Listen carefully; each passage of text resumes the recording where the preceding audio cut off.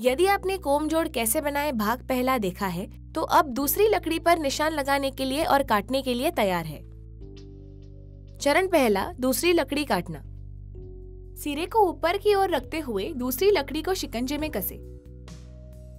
दूसरी लकड़ी के सिरे के ऊपर पहली लकड़ी की उंगलियों को पकड़े। उंगलियों की जगह के निशान लगाने के लिए मार्किंग नाइफ और पेंसिल का प्रयोग करें। गुनिए और पेंसिल का प्रयोग करते हुए निशानों को सभी ओर ले जाए। दोनों लकड़ियों के मिलने वाले किनारों को एक दूसरे के सामने रखें और दूसरी लकड़ी पर अतिरिक्त लकड़ी का निशान लगाने के लिए कई लाइन बनाएँ। सुनिश्चित करें कि आप पहली लकड़ी की उंगलियों के अनुसार ही खांचे बना रहे हो। अब दूसरी लकड़ी पर उंगलियों के निशान लग गए हैं, इसे शिकंजे में कसे और इसी प्रकार से दोहराए, जैसे अतिरिक्त लकड़ी हटाने के लिए पहले किया था। चरण दूसरा, जोड़ना और चिपकाना। दूसरी लकड़ी के तैयार होने के बाद उनकी अनुरूपता जांचने के लिए मैलेट की सहायता से दोनों लकड़ियों को एक साथ जोड़े।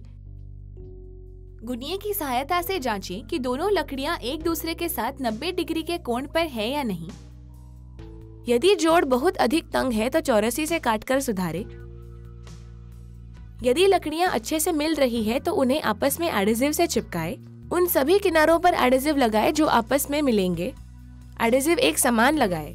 लकड़ियों को आपस में जोड़ने के लिए मैलेट का प्रयोग करें। यदि जोड़ बहुत अधिक ढीला है तो जब तक एडेसिव सूखता है, तब तक आप लकड़ियों को एक साथ पकड़ने के लिए शिकंजे में कसकर रख सकते हैं, या फिर बेहतर जोड़ के लिए आपको उंगलियों को दोबारा काटना होगा। यह सुनिश्चित करने के लिए गुनिये का प्रयोग करें कि कौन सीधा है या नहीं।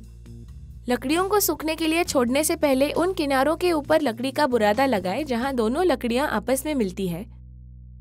बुरादा लगाने से पहले अंदर के कोने पर थोड़ा एडेसिव लगाए।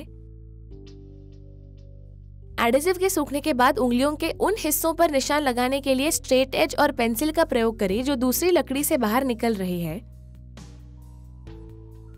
शिकंजे में जोड़ को कसे और बाहर निकले हिस्सों को काटने के लिए क्रॉस कटारी का प्रयोग करें। अतिरिक्त लकड़ी हटाने के लिए आप चौरसी का भी प्रयोग कर सकते हैं। शिकंजे में जोड़ को उल्टा करें और बड़े रंधे का प्रयोग करते हुए उंगलियों को एक बराबर समतल बनाएँ। समकोण को सुनिश्चित करने के लिए बाहरी किनारे के साथ गुनिये का प्रयोग करें। गुनिये की सहायता से अंदर के कोनों के कोण की भी जाँच करें।